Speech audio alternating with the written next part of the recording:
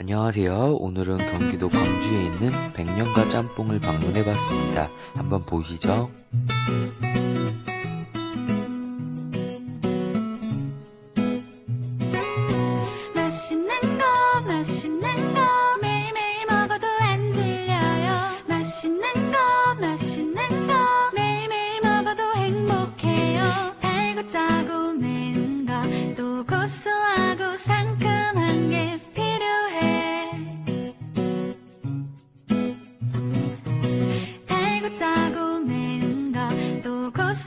시원하고 상큼한 게